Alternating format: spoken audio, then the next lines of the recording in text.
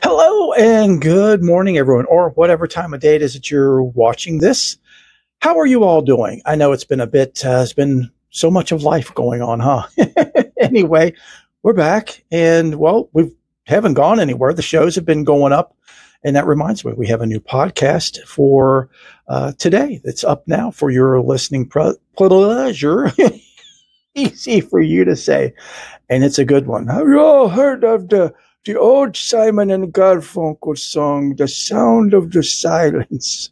It's a good one. No, this isn't about the song, The Sound of Silence. It's about getting in touch with the silence within you so you can receive and hear uh, messages from the divine, from past loved ones, from angels, so many things. It's a great episode that you won't want to miss. And it's also the season four finale. And what does that mean?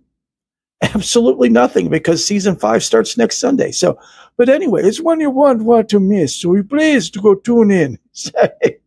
There'll be a link either above or below or somewhere around here. If not, go to faithandmorepodcast.wixsite.com slash my dash site. Love you all. Blessings.